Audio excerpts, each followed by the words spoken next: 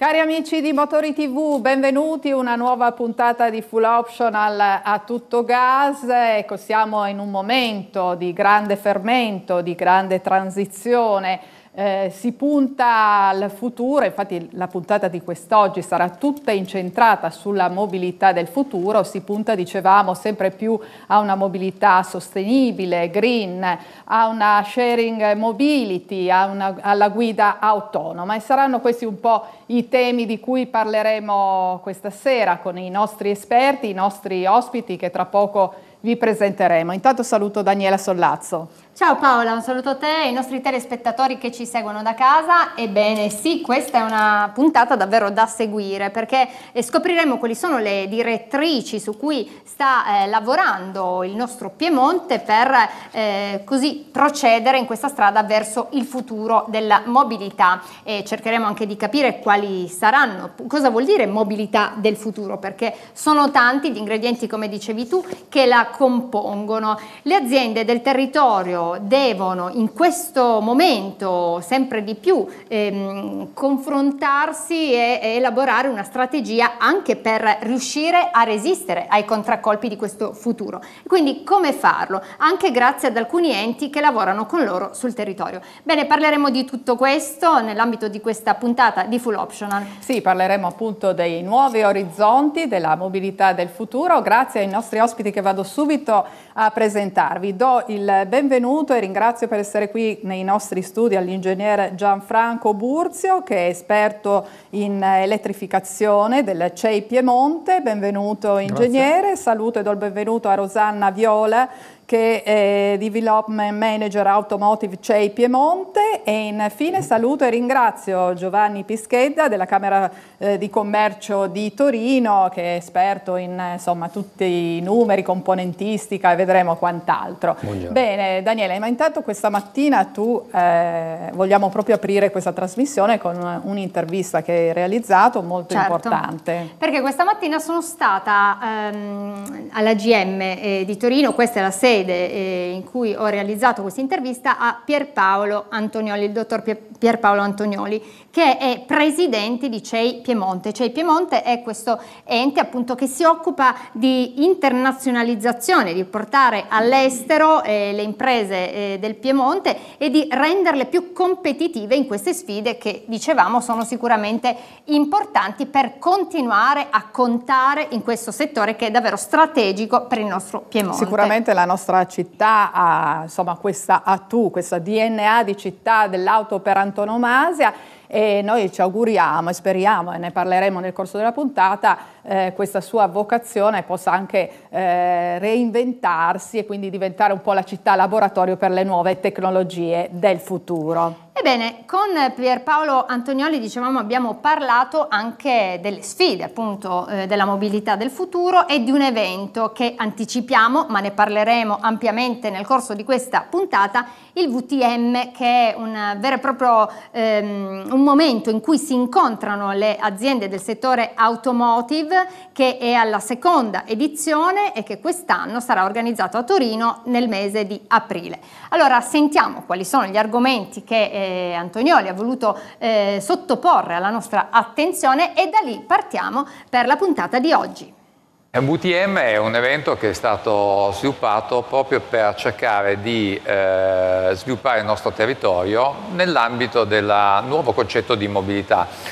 La mobilità è un'evoluzione del, dell'auto, eh, nel passato avevamo l'auto come un sistema che permetteva alle persone di eh, spostarsi, la mobilità è un concetto molto più esteso che mette insieme prodotti e servizi. Noi abbiamo voluto questo evento perché strategicamente riteniamo che per poter far sì che le nostre eccellenze, le eccellenze presenti nel nostro territorio, possano veramente accettare la sfida che si sta proponendo a livello globale, queste devono incontrare sicuramente la domanda, domanda che arriva dagli enti, dai grossi produttori, ma anche dai servizi che fanno utilizzo proprio della, della, mobilità e il miglior modo, il miglior contesto è metterli tutti quanti insieme, insieme all'innovazione, innovazione che oggi in VTM viene rappresentata dalle start-up, dalla presenza di università e anche di poli di ricerca importanti, privati molto importanti. Che cos'è la mobilità del futuro? La mobilità del futuro è il connubio tra eh, trasporto privato, trasporto condiviso, quindi stiamo andando al di là del concetto di, del possesso del veicolo, ma invece di una condivisione diciamo, di questi mezzi, di sistemi che sono connessi, che quindi possono parlare tra di loro e con le infrastrutture e soprattutto con l'utilizzo di sistemi e diciamo, mezzi sempre più ecologici, quindi più green. Quali sono questi mezzi? Sicuramente sono i mezzi attualmente che circolano per le nostre strade, ma con motori, motopropulsori molto più eh, ecologici a questo punto di vista. Quindi noi nel futuro continueremo a vedere motori diesel, continueremo a vedere motori benzina, ma questi si saranno affiancati da vetture elettriche, da vetture ad idrogeno, l'utilizzo del metano. Questo è un po' il concetto di quello che eh, possiamo aspettarci nel futuro. Sicuramente avremo un'ulteriore evoluzione tecnica che viene rappresentata dalle vetture a guida autonoma. Le vetture a guida autonoma sono un tassello addizionale a quello che ho spiegato prima. Perché? Perché noi cercheremo di ridurre il traffico all'interno delle nostre città. Cioè il traffico all'interno delle città e quindi anche il livello di inquinamento all'interno delle città non è semplicemente legato a mezzi tecnologicamente più evoluti e meno inquinanti, ma anche proprio a una strategia di, ridu di eh, riduzione del parco circolante. Vetture a guida autonoma, vetture condivise rappresentano proprio questo tassello. Ma non solo, addirittura ci stiamo spingendo molto più in là perché stiamo appropriandoci anche di un'altra dimensione che è quella verticale, ovvero sia abbiamo visto che eh, molte sono le proposte anche di droni, cioè droni per il trasporto. Droni che consentono quindi di sfruttare un'altra dimensione che fino ad ora non era mai stata considerata come un elemento per consentire un'efficienza nel trasporto diciamo, pubblico e privato. Torino sicuramente ha un potenziale a oggi inespresso ma sicuramente presente. Il fatto di riuscire a investire nelle tecnologie, per esempio nel settore del, della guida autonoma, dell'elettrico, può veramente consentire di rimetterci in gioco, così come abbiamo fatto nel passato. Torino è stata un po' la capitale dell'automotive, non solo in Italia, ma sicuramente era tra le prime in un contesto europeo e addirittura mondiale. Oggi dobbiamo un pochino ripartire da quel concetto, da quella tradizione. Oggi esiste una catena di fornitori molto molto avanzata che deve semplicemente riorientare le proprie capacità e le proprie competenze in questo settore. Per poter fare questo sicuramente avremo bisogno di creare una rete molto più forte, una rete più forte soprattutto a livello internazionale, ma soprattutto con le nostre accademie, con le nostre università e soprattutto con i nostri centri di ricerca. Il fatto di trasformare Torino in un laboratorio vivente che può sperimentare questi nuovi mezzi, questi nuovi metodi, questi nuovi concetti, consente sicuramente non solo di far avanzare la città, perché la mobilità è un contesto che prima di tutto è sociale, prima ancora che tecnologico. Con la mobilità noi vogliamo risolvere un problema sociale, che è il problema dell'inquinamento, il problema del traffico, il problema anche dei costi stessi che vengono rappresentati dalla mobilità stessa. E quindi dobbiamo partire dal sociale. Partire dal sociale vuol dire partire dalla città. Partire dalla società con delle soluzioni che vengono messe a disposizione da chi? Da un connubio di eh, consorzi che vedono le piccole e medie aziende, università e grossi player. Solo loro insieme possono definire quelle che possono essere delle soluzioni, valutarle velocemente, vedere se queste possono essere applicate poter colloquiare con le istituzioni pubbliche perché loro stesse dovranno essere coloro che detteranno diciamo, un po' la strategia e nello stesso tempo anche l'adozione di queste soluzioni. Nei prossimi anni sicuramente uno dei maggiori investimenti sarà nelle competenze. Le aziende dovranno imparare a fare il sistema tra di loro ma soprattutto dovranno imparare a sviluppare quelle competenze che stanno diventando fondamentali affinché si possano sviluppare alcune delle tecnologie di cui ho parlato in precedenza, parlavamo di, di blockchain, parlavamo di intelligenza artificiale, parlavo di batterie. Per esempio oggi è difficilissimo trovare un ingegnere delle batterie, non è ancora stato inventato, ma noi stiamo lavorando sulle batterie, noi stiamo lavorando sull'intelligenza artificiale. Ma non è importante solo diciamo, sviluppare le competenze, ma anche trovare un processo affinché queste competenze possano essere inserite in maniera efficiente ed efficace all'interno del contesto aziendale. Quindi c'è anche proprio una trasformazione dell'azienda stessa, deve essere in grado di accogliere queste competenze al suo interno e mettere a disposizione affinché si possa veramente sviluppare e generare i prodotti di cui stiamo parlando. Eccoci di nuovo in studio insieme ai nostri attori di questa puntata sulla mobilità del futuro, il dottor Antonioli ha messo sul tappeto tantissime tematiche cruciali che riguardano appunto la, la, mobilità del futuro, vedremo appunto di affrontarle man mano una per volta, ma intanto vorrei chiedere ai nostri ospiti eh, stiamo appunto vivendo in questo periodo di transizione, ma questa grande rivoluzione quando arriverà? Quando si avranno appunto i primi eh, frutti e qual è lo stato dell'arte attuale?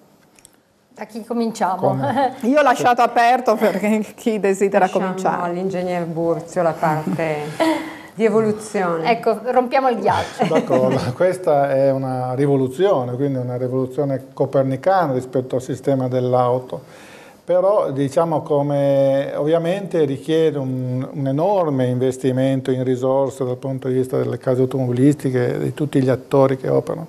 Quindi come tutte le cose che richiedono un grosso sforzo sarà eh, introdotto gradualmente, quindi alcune, alcune cose le stiamo già vivendo adesso, il primo, il primo aspetto è l'elettrificazione dei veicoli. Veicoli elettrici li stiamo vedendo già, stiamo vedendo veicoli condivisi, il car sharing è una realtà ormai comune che viene utilizzata da, da migliaia, se non centinaia di migliaia di, di persone.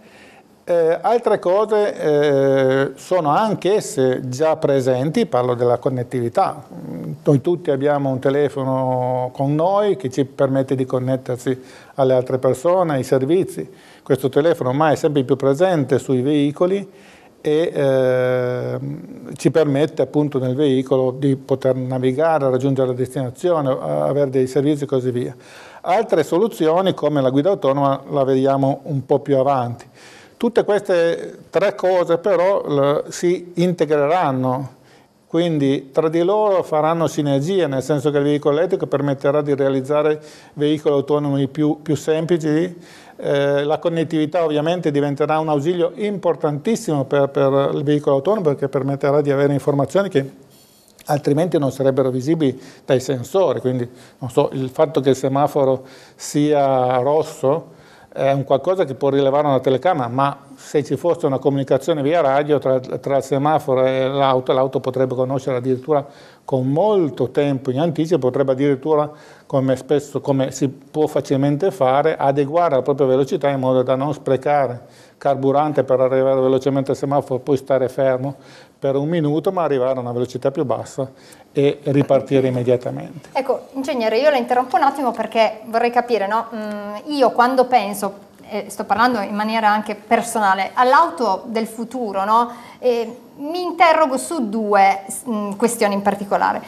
Quest'auto come sarà alimentata? Prima questione. E seconda questione, quest'auto la guiderò io, eh, sarà un'auto autonoma, sarà un'auto connessa, sono due, mh, mm, cioè paralleli certo, in pratica certo. questi interrogativi che si stanno portando avanti, quindi anche quando mh, mm, io eh, magari penso alla gente che da casa si, si chiede che auto comprerò fra 10-20 anni, forse sono questi un po' eh, gli interrogativi più forti che vengono, mh, mm, che ci stiamo noi stessi sottoponendo. Ecco, sull'alimentazione chiaramente la spinta deriva dal fatto che bisogna rendere meno inquinanti i veicoli, perché le città sono, soprattutto le città sono molto inquinate, e dall'altra parte bisogna pensare ai cambiamenti climatici, quindi bisogna avere dei veicoli che producano meno CO2, perché questo è chiaramente il fattore più importante per quanto riguarda i cambiamenti climatici.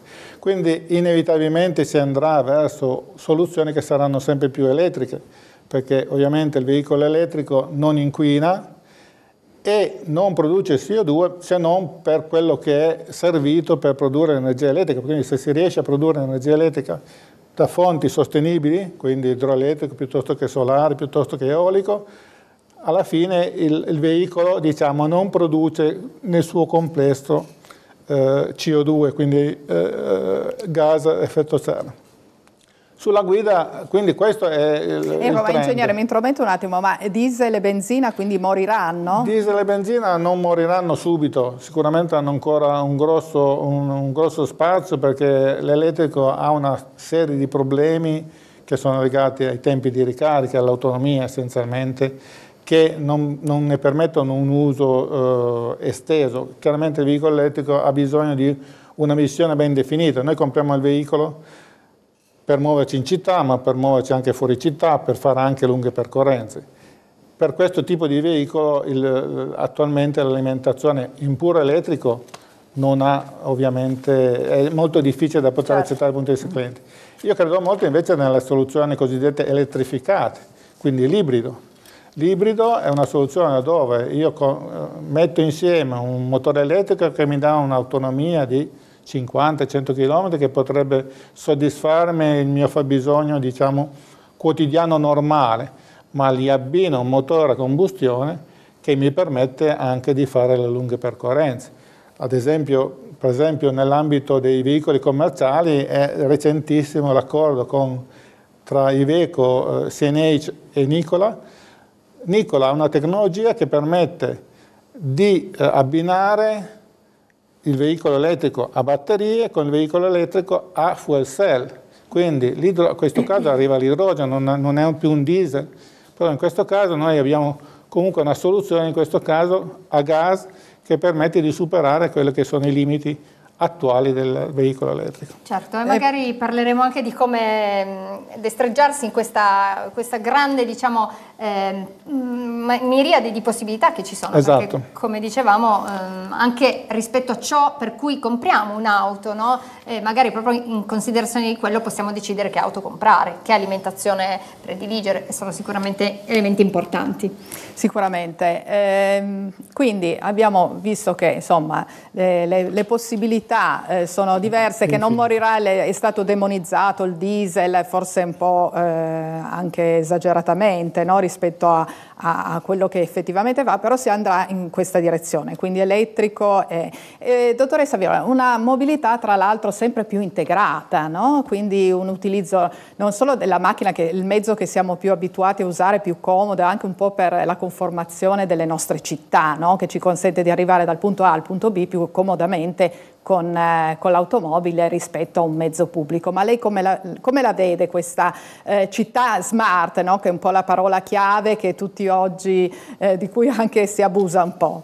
Sì, una città intelligente, più che altro una città dove i trasporti possono essere laddove servono reperibili, eh, con dei trasporti sicuramente pubblici e poi con uno sharing molto molto efficace perché eh, bisogna immaginare che l'auto propria in un futuro dovrà essere, a mio avviso, soprattutto per la riduzione della CO2, soprattutto usata magari al di fuori dei centri urbani, eh, proprio per cercare di limitare l'inquinamento. E credo che si vada molto in questa direzione.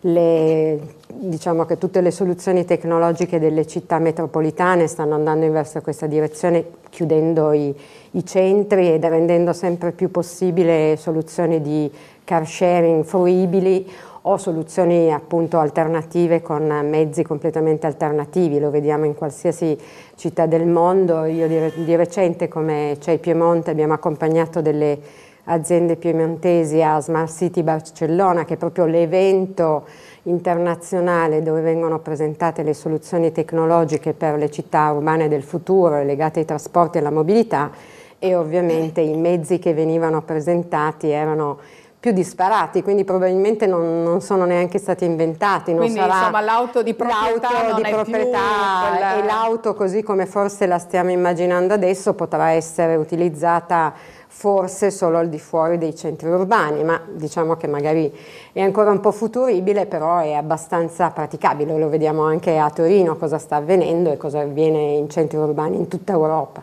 Ecco, mm, io vorrei proprio farle raccontare un pochino più nello specifico che cos'è CEI Piemonte e di che cosa si occupa.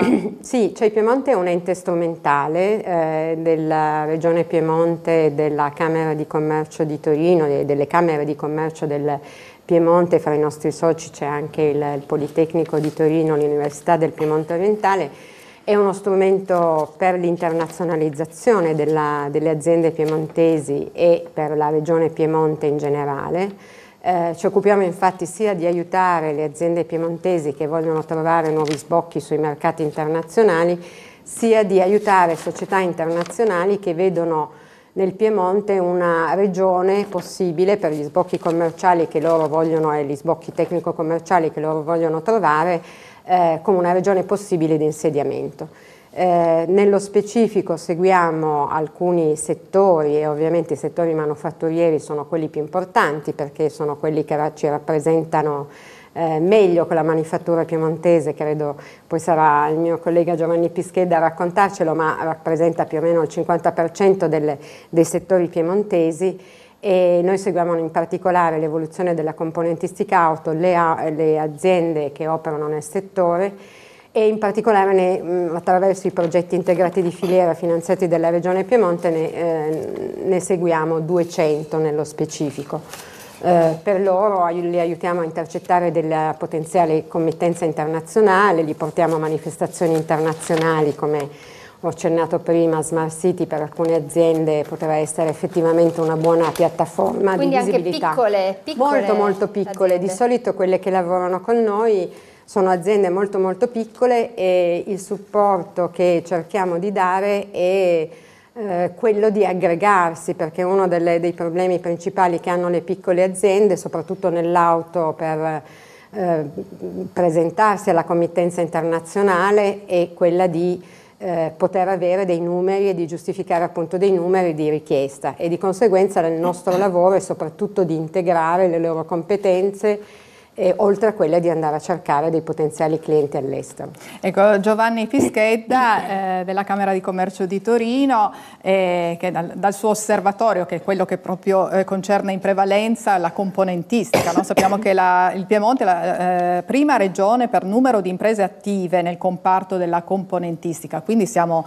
molto forti sotto questo punto di vista. Vorrei farle commentare questi dati e anche qual è un po' l'andamento, il trend e come si pone con CEI Piemonte Piemonte, proprio come si coopera insieme. Certo. Veniva ricordato prima che Torino è la capitale dell'auto, lo è ancora, lo è stato storicamente, una delle cose più belle che i torinesi, ma anche non, i non torinesi possono trovare in questa città quando vanno a visitare il Museo dell'Automobile, è quella bella mappa che c'è a un certo punto delle sale in cui si vedono tutte le aziende che dall'inizio del secolo scorso producevano automobili o lavoravano nel settore automotive in questa città. Ecco, oggi la realtà è un po' diversa perché indubbiamente ci sono stati molti cambiamenti in seno all'economia per quello che riguarda anche il, il comparto dell'automotive, ancora oggi però effettivamente il Piemonte è la regione leader in Italia per quello che riguarda la produzione di componentistica in ambito automobilistico.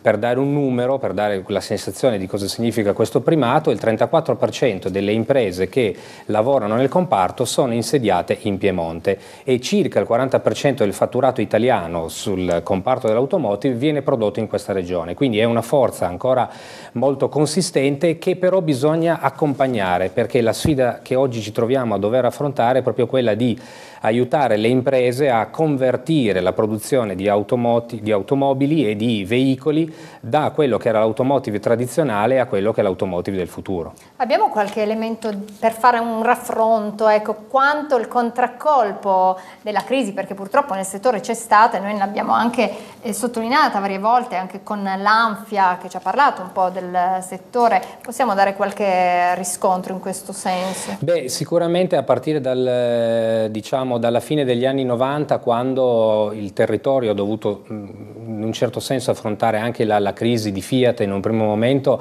c'è stato un progressivo impoverimento del, del, tessuto automobilistico, delle imprese del settore automobilistico, ma proprio allora la reazione dei, eh, degli enti pubblici che si sono occupati anche in qualche maniera di supportare il settore fu quello, lo ricordo ancora nel 2003 la Camera di Commercio di Torino ebbe l'idea di inventare questo progetto From Concept to Car insieme al centro estero dove si cercava di mettere insieme tutti coloro che a partire dalla progettazione dell'auto, dall'idea dell'auto, arrivavano a eh, in qualche maniera eh, produrre poi un veicolo finito, cioè una filiera totale che veniva presentata. Oggi i numeri sono comunque sempre dei numeri importanti perché in ogni caso quando parliamo di imprese della, non solo qui sul Piemonte ma in tutta Italia parliamo ancora di 260.000 addetti che lavorano nell'automotive, di cui 160.000 eh, sono addetti diretti e l'automotive in Italia rappresenta comunque il 6% del PIL PIL nazionale, quindi questo è in qualche maniera un dato dal quale ripartire.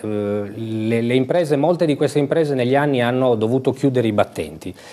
Molte si sono riconvertite, si parla molto anche di una manifattura che è andata verso altri settori come l'aerospazio, come per esempio altre produzioni di veicoli che non fossero quelle dell'automotive però rimane ancora centrale oggi la forza della manifattura in Piemonte, noi dobbiamo provare a fare di tutto per accompagnarla e sicuramente quello di accompagnare le imprese è un compito non facile, ma bisogna agire su quelle leve che funzionano, competenze, innovazione, lavorare molto anche su quelli che vengono chiamati oggi gli skills, aiutare anche le università, il Politecnico, gli incubatori e anche le, le scuole superiori a fare il, il loro, ecco. il loro diciamo, dovere per aiutare il, ecco, lo sviluppo del territorio. Ecco, che è un po' la mission anche della Camera di Commercio, no? quella di prendere per mano, aiutare le imprese. Sicuramente, no? innovazione, digitalizzazione, sviluppo diciamo, delle imprese, sviluppo imprenditoriale sono un po' la nostra mission dal punto di vista promozionale, continuiamo a farlo e per farlo bene però c'è bisogno veramente, come peraltro questo territorio sta cercando di fare,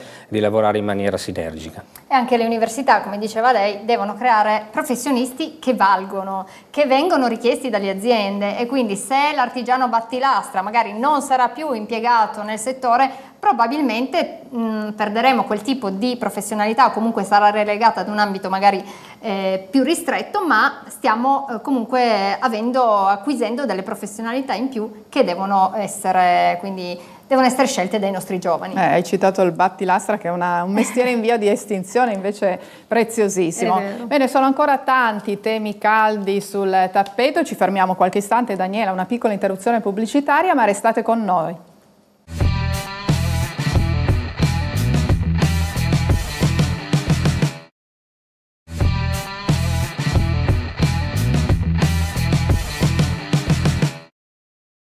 Eccoci di nuovo insieme dai nostri, full, dai nostri studi scusate, di Full Option alla Tutto Gas con i nostri ospiti, i nostri esperti. Quest'oggi stiamo facendo un po' un salto al futuro, immaginiamo come si evolverà eh, la nostra mobilità, sicuramente è un tema molto caldo che insomma, eh, tiene banco anche sulle cronache giornalmente. Bene, eravamo, ci eravamo fermati parlando un po' della mission della Camera di Commercio di CEI Piemonte, uno degli eventi clou eh, del, di CEI Piemonte organizzato VTM, no? partita eh, questa manifestazione per la prima volta la, nel 2018, nel 2020 a inizio aprile ci sarà questa seconda edizione, è un unicum un po' questo evento perché eh, mette a, in contatto le aziende dell'automotive, eh, proprio incentrato in prevalenza sulle quattro ruote, no? quindi sulle auto, le mette in contatto con i buyer e quindi è un momento molto importante per approfondire proprio queste tematiche, ingegnere. Quindi cosa dobbiamo aspettare? Intanto ci spieghi meglio che cos'è questo evento e poi cosa dobbiamo aspettarci dalla prossima edizione. E come ha già anticipato molto bene, eh, la peculiarità di questo evento è proprio quello di mettere in contatto le aziende, le aziende che hanno dei problemi da risolvere, quindi sono alla ricerca di qualcuno che fornisca le soluzioni, e le aziende che invece hanno delle soluzioni che sono alla ricerca di qualcuno che possa acquisire, acquistare queste soluzioni e portarle sul mercato.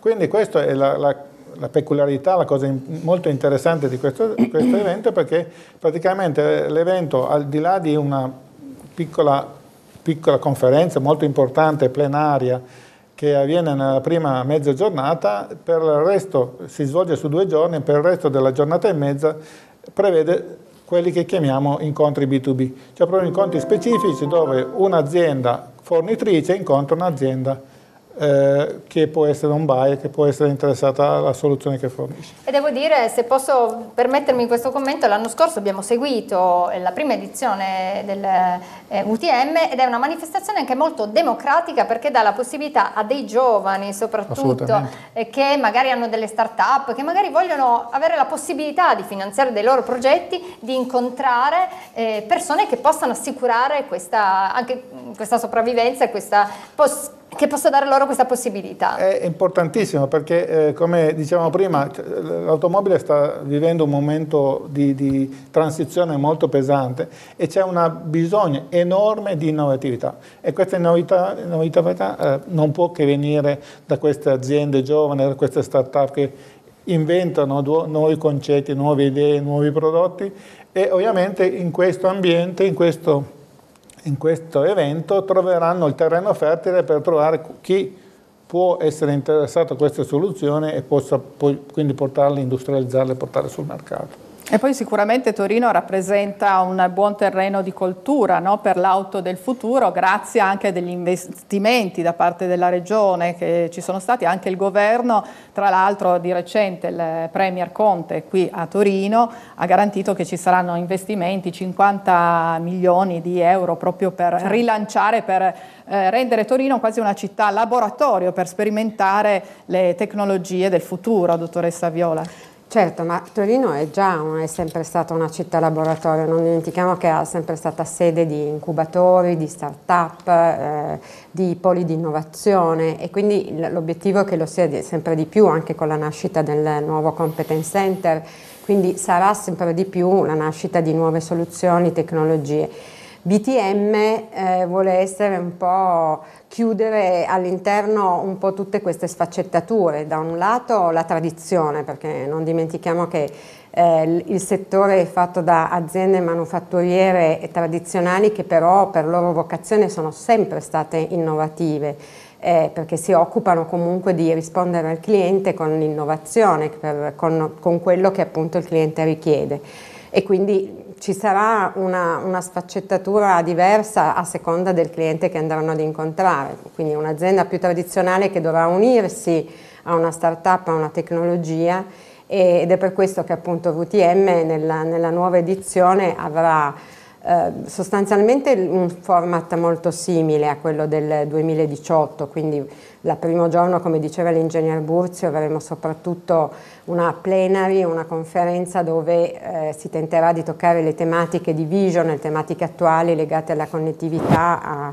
alla guida autonoma, alla sharing, eh, eh alla condivisione dell'auto e all'elettrificazione ma all'interno della, della, conferenza anche avranno anche la possibilità di esserci start-up, innovazioni, idee, brevetti del territorio, eh, così come lo è stato per il recente Aerospace and Defense Meeting che è l'altro evento eh, che il, il centro-est o la Camera di Commercio Regione Piemonte supportano e che c'è stato sul settore dell'aerospazio.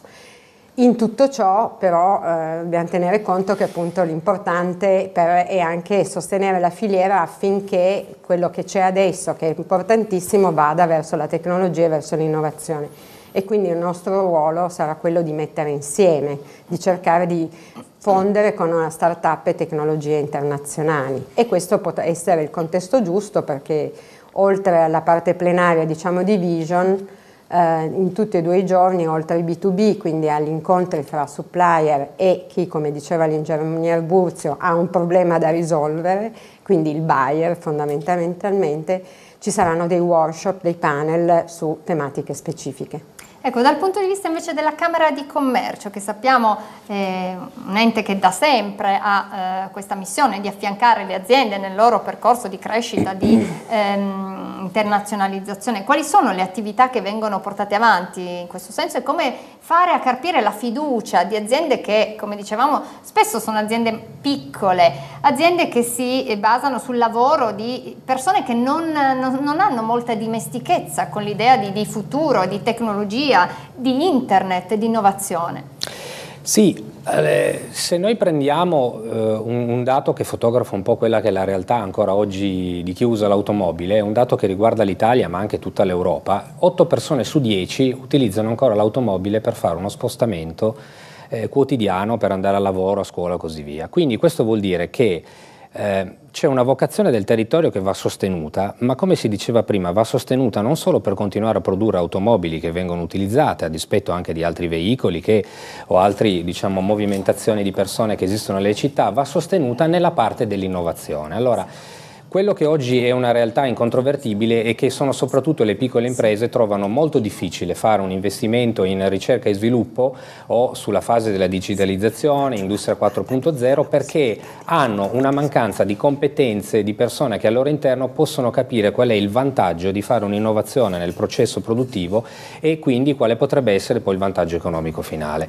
Quindi eh, uno dei compiti della Camera in questi anni e negli ultimi anni, ma lo sarà ancora di più nel futuro, sarà quello di accompagnare accompagnare proprio le piccole imprese a conoscere quali possono essere i benefici di fare innovazione. Eh, uno degli ostacoli più grossi che le imprese trovano, per esempio, è che non trovano anche eh, una chiara enunciazione di quelli che sono i benefici dal punto di vista fiscale piuttosto che finanziario, quali sono gli incentivi che possono essere concessi. Quindi forse una eh, delle domande alle quali possiamo provare a rispondere meglio anche nel futuro è di informare meglio i, eh, i piccoli imprenditori, informare meglio chi lavora dentro le imprese anche per fare sviluppo eh, di prodotti e di processi relativamente a quelli che potrebbero essere i benefici dal punto di vista finanziario o fiscale nel fare innovazione.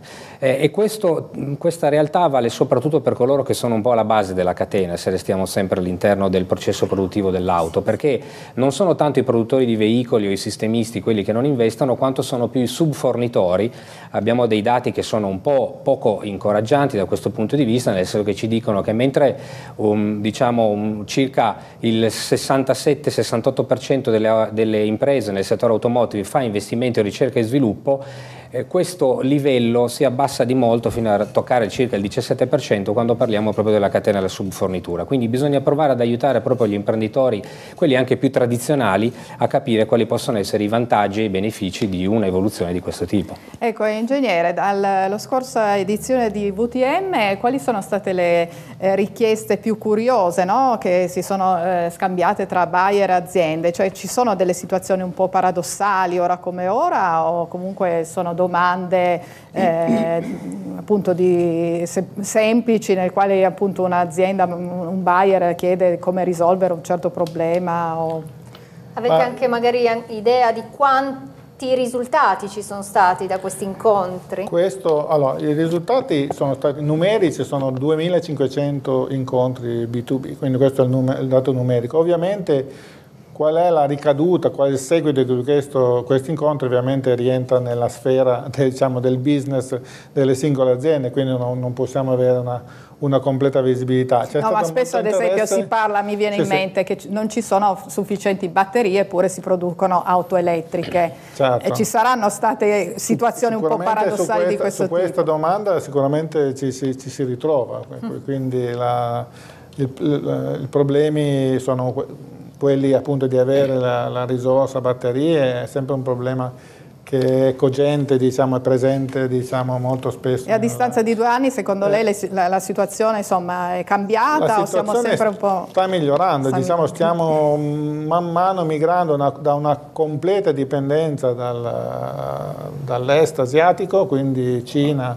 eh, Giappone, a realtà ormai che cominciano a consolidarsi in Europa e che quindi ci, si presume che ci potranno dare se non la completa indipendenza diciamo, energetica sulle batterie nei prossimi anni, ma almeno nel medio termine potremo avere una completa autonomia. E poi ci anche sono Torino. Sì. E anche a Torino in questo senso esatto, ad esatto. ospitare qui un vero e proprio hub per la produzione di batterie esatto, per le auto eh, questo è l'OIM che, che in qualche modo ha deciso di investire qua per produrre la 500 elettrica chiaramente si rende conto che è anche importante garantirsi tutta la filiera, non, non dover dipendere diciamo, da un fornitore magari lontano 10.000 km per, per, avere queste risorse e quindi eh, si è eh, messo nelle condizioni di poter avere anche qua sul territorio la fabbrica di batterie. O se no, a proposito di guida autonoma, io credo che tecnologicamente da quello che leggiamo, non addetti ai lavori ovviamente, dalla nostra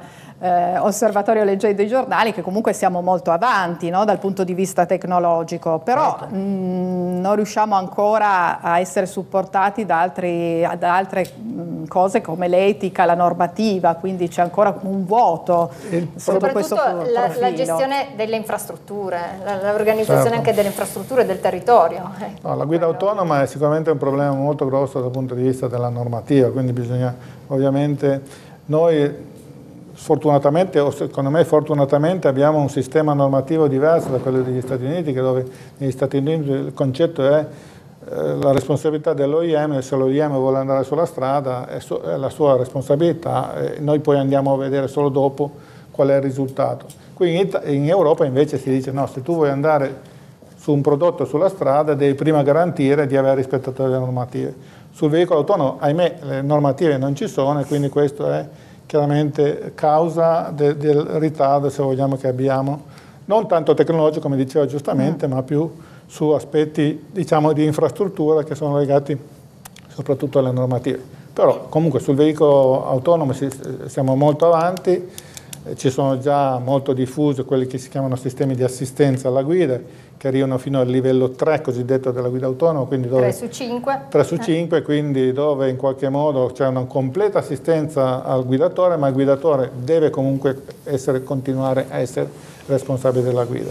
Sul livello 4, ahimè, c'è questa carenza di normative che si spera, stanno lavorando moltissimo a livello europeo per curare questo aspetto quindi sono abbastanza confidente che nei prossimi pochi anni diciamo, mm. questo, questo gap sarà colmato. Ecco, le, le do la possibilità di aggiungere ancora qualcosa in più a questa eh, spiegazione perché le, le, faccio una domanda provocatoria, un po' eh, una battuta semplicemente. Il VTM, eh, la scorsa edizione, era passato alla cronaca diciamo, ehm, giornalistica anche perché eh, c'era stata la sperimentazione di un'auto guida autonoma con a bordo la sindaca di Torino Chiara Appendino aveva fatto una diretta Facebook che documentava un passaggio di quest'auto con il rosso. E beh, ci sono state anche delle polemiche, ma lei mi può spiegare cosa è successo nello specifico? Nello specifico, eh, diciamo, ehm, allora, innanzitutto l'errore non è stato della macchina, ma è stato un errore umano.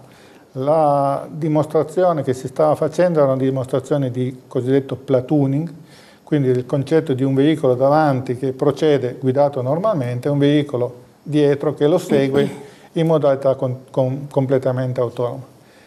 Eh, questo veicolo comunque aveva un, un, guidatore, un tecnico che lo controllava ed è stato il tecnico che ha deciso, per non disturbare, se vogliamo, quello che poteva essere la dimostrazione, di eh, non intervenire, perché comunque nel caso del platooning il veicolo era impostato, programmato per dire segui il veicolo davanti, sempre, mm, certo. quindi senza andare a considerare quello che eh, accade nel, perché il platooning essenzialmente è una funzione cosiddetta autostradale. Mm. Esistono già degli esempi, soprattutto sui veicoli commerciali, è una funzione molto interessante perché consente di marciare a, a distanze molto ridotte uno dall'altro in guida autonoma, consentendo quindi risparmi di carburante Uh-huh. Mo, molto elevati, 20-30%, e quindi questa è una funzione, però è proprio un concetto di seguire in modo autonomo il veicolo che precede, senza diciamo, considerare quello che può accadere. E questo è quello che era la funzione che era in qualche modo impostata, quindi non poteva, non perché non, non poteva tecnologicamente, ma perché in quel momento la funzione riconosci il, semaforo, il semaforo non era, non era abilitato. Non ecco, ma questa trasmissione di coscienza no, dall'uomo all'auto è un tema molto delicato. Come, avverrà, come avverrà di fatto? Mm, ovviamente la, la, macchina resterà una macchina, quindi non avrà una coscienza, avrà un algo, degli algoritmi gli, su cui si cercherà di insegnargli a guidare il veicolo in tutte le condizioni che può incontrare. E questo è il grosso problema della normativa, perché la normativa ovviamente deve a questo punto essere garanti, garantire che effettivamente questo accada, cioè il veicolo possa gestire correttamente in sicurezza per gli occupanti e per gli altri utenti della strada, pedoni, ciclisti e così via, eh, gestire ogni situazione in sicurezza. E quando io dico ogni situazione, uno può immaginare la molteplicità, l'enorme numero di situazioni che un veicolo può incontrare nella strada, quindi il problema da una parte di risolvere dal punto di vista tecnologico il problema, ma anche molto, molto importante il problema del, diciamo, del normatore, di chi in qualche modo deve garantire che deve trovare il modo, senza chiedere diciamo, al costruttore di fare miliardi di chilometri, di dimostrare che il veicolo effettivamente è sicuro e può circolare. Quindi, alla patente come, come Poi c'è il problema anche delle assicurazioni no? che non saranno più questione... intestate al, al proprietario del, dell'auto ma... Sì, l'assicurazione e soprattutto la responsabilità, questo è il problema. Nel caso ci fossero certo. incidenti ovviamente incidente, chi ne risponde... Esatto. La responsabilità adesso è del guidatore, domani dovrà essere per forza di cose del costruttore. Comunque, dottoressa ha... Viola, sicuramente con più automazione vuol dire anche più sicurezza. Certo. Assolutamente, ma eh, è uno dei motivi per cui immagino stiamo andando anche in quella direzione, soprattutto per avere meno incidenti. Mi riallacciavo però soprattutto al discorso dei risultati di VTM dello scorso anno, abbiamo detto 2500 eh, B2B incontri e noi li stiamo mappando, adesso inizieremo la mappatura, di solito lo facciamo più o meno un anno dopo perché dobbiamo tenere conto che eh, questi risultati, appunto, se sono stati oggettivamente dei risultati utili per le aziende, gli incontri e anche gli incontri con le start-up, anche gli incontri con gli speaker, perché teniamo conto che è una piattaforma VTM, non è soltanto il B2B, è la parte più importante, quella che deve generare business, ma eh, come auspichiamo avvenga nel 2020, anche gli stessi speaker possono essere degli interlocutori molto interessanti. Abbiamo L'anno scorso abbiamo invitato speaker internazionali decisamente di livello e nel 2020 ci stiamo apprestando a fare eh, cose analoghe e anche gli stessi speaker possono in qualche misura essere ispiratori di business per le piccole e medie aziende che incontreranno. Stiamo facendo esattamente questo in, in questi mesi, stiamo rilevando eh, diciamo, i risultati, ce ne sono di incoraggianti, non abbiamo ancora mappato tutte le 247 aziende che hanno partecipato l'anno scorso, ma avevamo fatto una prima rilevazione a febbraio del 2019 e mediamente i risultati però arrivano dopo 12, 18 mesi, 24, cioè non, non sono immediati, alcuni possono esserlo ma eh, diciamo, attualmente non, non... state ancora eh, raccogliendo adesioni per l'edizione di aprile? Assolutamente sì, siamo in fase diciamo, di recruiting delle, sia delle aziende piemontesi sia dei partecipanti internazionali e eh, stiamo mettendo a punto il format della conferenza e dei workshop, quindi siamo nel pieno delle, eh, della programmazione, della realizzazione, della, proget no, della, progettazione ormai non più, ma della realizzazione certo. E infatti invitiamo le aziende piemontesi nazionali, diciamo che questo è il, il nostro principale obiettivo che si iscrivano all'evento perché questo chiaramente aprirà e chiamerà anche i player internazionali perché iscrivendosi alla piattaforma loro vedono che cosa può offrire eh, la manifestazione in termini di fornitura. La Camera di Commercio anche quest'anno è presente a questo evento perché voi vi abbiamo qui tutti e tre perché siete eh, lavorate tutti insieme a questo evento, il VTM di questa nuova edizione. E con la Camera di Commercio in particolare dicevamo ha un vero e proprio lavoro ehm, che è l'osservatorio sulla componentistica. Che cosa serve, che cosa mh, racchiude al suo interno, quali dati può fornire? Sì, il lavoro che fa la Camera di Commercio in questo ambito è proprio un lavoro di tipo statistico che parte da un'indagine che viene svolta su base annuale sulle imprese del, del comparto dell'automotive viene realizzata ormai in collaborazione anche con attori esterni, non più solo la Camera di Commercio di Torino, ma per esempio anche con l'Università Ca' Foscari di Venezia, è un'indagine che una volta veniva limitata all'Italia con un focus sul, sul Piemonte, su Torino, oggi viene fatta anche su altre regioni. L'obiettivo è quello di tenere sempre aggiornato eh, lo stato di salute del, del, comparto automobilistico e veicolare eh, in Piemonte, ma non solo, in Italia, perché poi il dato importante è il dato italiano e sicuramente aiuta aiuta un po' anche a focalizzare meglio quali debbono essere poi le politiche che eh, gli enti pubblici devono fare a partire dal governo nazionale ma anche dagli enti locali per supportare il settore che lo ricordo come lo dicevo prima è ancora uno dei settori portanti dell'economia manifatturiera italiana e soprattutto ha una tradizione che può portare ancora molto avanti, eh, può portare verso il futuro perché le competenze ci sono, continuiamo ad esprimerle eh, in, questo, in questo territorio e il fatto di fare questo osservatorio sulla componentistica realistica, dà una fotografia, ma dà anche la prospettiva di dove si va verso il futuro, imparando anche da quello che sta, sono stati i successi, ma anche gli insuccessi del passato. Certo, dottor Pischeda, lei ha sottolineato prima che le aziende devono un po' eh, adeguarsi, no? rinnovarsi rispetto a questa rivoluzione che sta in, investendo di fatto eh, il mondo dell'automotive, però queste nuove tecnologie creeranno anche tutto un, un nuovo indotto. Avete già um, idea delle start-up insomma, che stanno partendo proprio da queste nuove tecnologie. Certo, una delle cose più interessanti ma anche più, diciamo, più belle dell'innovazione tecnologica è che produce eh, diciamo, lo sviluppo di imprese in diversi settori, settori che si intersecano tra di loro, eh, sono dei dati anche abbastanza interessanti, quelli che ci dicono come mh, su, su Torino stesso e il Piemonte abbiamo delle eccellenze per esempio il nostro incubatore al Politecnico è un'eccellenza riconosciuta a livello internazionale, quest'anno ha fatto il pieno di tutti i premi nazionali e internazionali eh, che poteva ricevere e anche la vita delle start-up che sono insediate su questo territorio, dove lo, lo ripetiamo, è anche più da un certo punto di vista economico insediarsi rispetto ad altri territori in Italia, anche perché siamo una delle città leader per eh, la registrazione di brevetti, è un, è un territorio che sente molto l'innovazione e le aziende non possono stare indietro. Diciamo che le aziende che resteranno indietro rispetto a questo trend futuro, del futuro, ma che non riguarda solo l'automotive, troveranno molte difficoltà. Tra l'altro l'innovazione, a dispetto di quello che si crede, non distrugge posti di lavoro, ma ne crea anche di nuovi.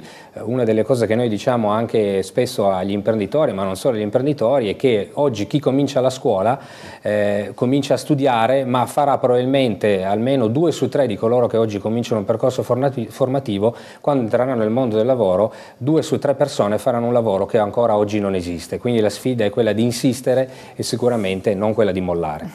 Ecco, io la ringrazio perché è stato davvero molto chiaro in questo senso e spero che anche molti giovani ehm, siano ispirati da queste suggestioni che stiamo dando in questa puntata. Io però avevo lasciato, lanciato una domanda e lasciata lì in sospeso con il nostro ingegnere, ingegnere io quindi voglio sfruttare fino all'ultimo le sue competenze. Beh. Allora, detta così, per pro- proprio direttrici molto generiche, chi cerca un'auto oggi Cosa deve considerare? Parlando dal punto di vista della tecnologia e delle motorizzazioni, quindi dell'alimentazione anche in particolare, perché sappiamo c'è davvero una variegatura, eh, possibilità molto diverse. Ecco, cosa deve considerare? Deve considerare... L'utilità dell'auto, il sì. motivo per cui la compra, cosa? Il, il modo con cui la usa, questo è molto importante perché chiaramente la scelta quindi il fatto di usarla molto in città, usarla soltanto, avere un, un bisogno di, diciamo, di, chilometri al giorno, di 50 piuttosto che 100 km, piuttosto che invece avere lunghi percorsi, chiaramente porta a scegliere diverse soluzioni. Il veicolo elettrico puro eh, chiaramente è una soluzione che va molto bene per chi si muove soltanto in città, il veicolo ibrido è una soluzione che può ancora soddisfare qualunque tipo di esigenza, il veicolo, il veicolo ibrido ahimè, ha anche dei piccoli problemi, nel senso che se uno si eh, fa un percorso lungo, alla fine la parte elettrica si esaurisce, va, diciamo, consuma a questo punto, va in diesel piuttosto che in benzina, ma si trascina batterie, motori, eccetera, pesi eccessivi, per cui alla fine se uno fa un tratto molto lungo, alla fine il suo bilancio, diciamo, dal punto di vista dei consumi non è così positivo come uno si può aspettare, almeno finché non, le autonomie in puro elettrico diventeranno certo. significative.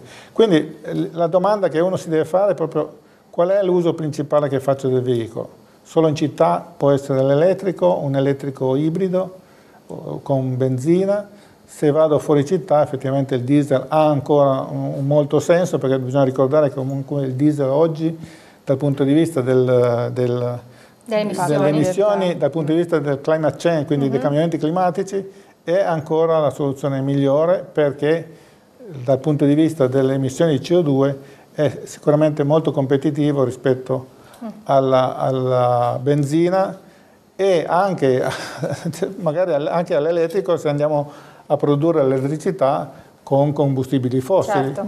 perché comunque alla fine abbiamo comunque un'emissione di CO2. E non abbiamo parlato anche di idrogeno. Eh sì, eh, anche perché non sarà solo elettrico e guida autonoma il nostro futuro, no? Adesso apriamo un'altra puntata, siamo in chiusura. In sì, realtà. bisogna aprire un altro capitolo. Ho accennato eh prima che comunque è una soluzione che si sta pensando per i veicoli commerciali pesanti, potrebbe trovare anche una soluzione, appunto l'idrogeno effettivamente è una, una, tecnologia che si, si, eh, si, integra bene con l'elettrica perché alla fine si produce elettricità e quindi il motore rimane lo stesso, però le celle a combustibile hanno ancora dei costi, delle, degli ingombri che sono difficilmente eh, proponibili per l'uso dell'auto privata. Diciamo. Purtroppo siamo, siamo veramente agli sgoccioli, volevo solo eh, ricordare attraverso la dottoressa Viola un po' eh, questa prossima edizione eh, nel 2020, primo, eh, mi pare sia il primo aprile, non è un pesce d'aprile, è sì. il 2 aprile, no? 1-2 aprile 2020. Presso... Possono partecipare anche un pubblico o solo gli addetti ai lavori? Allora, è una business convention, quindi è una conferenza conferenza aperta agli addetti ai lavori, mm. ci sarà eh, un'area dimostratori all'esterno, quindi come l'anno scorso c'erano due veicoli a guida autonoma, eh, quest'anno auspichiamo di ospitare altri veicoli che potranno essere, non saranno solo a guida autonoma, saranno elettrici o alimentati ad altri eh, sistemi, ma eh, che saranno all'esterno, quindi probabilmente sarà visibile per il pubblico all'esterno questa tipologia di, ve di veicoli eh, però la convention è questa tipologia di evento è solo per gli addetti ai lavori. Ci sarà una parte conferenza dove su invito, su partecipazione, ma sempre di mm. addetti ai lavori. E la cornice è sicuramente e, esclusiva le OGR. Esatto, le officine grandi riparazioni che l'anno scorso ci ha ospitato ed è stata sicuramente una cornice molto affascinante, quest'anno amplieremo eh, questa, mm, la superficie che andremo ad occupare e insieme ad ABE che sono gli organizzatori, gli organizzatori francesi con il supporto eh, di tutti andremo ad occupare una superficie importante di questa palazzina prestigiosa e affascinante della città. Paola, siamo arrivati alla conclusione, allora? Il momento sempre più drammatico, no perché ci dispiace perché sarebbero ancora tanti Tantissimo. temi che volevamo trattare ma vi rinviteremo sicuramente anche a fare un bilancio della prossima edizione del VTM. Bene, grazie Daniele, grazie ai nostri ospiti, siamo proprio agli sgoccioli, vi saluto, vi do appuntamento al prossimo venerdì sempre a quest'ora su Motori TV.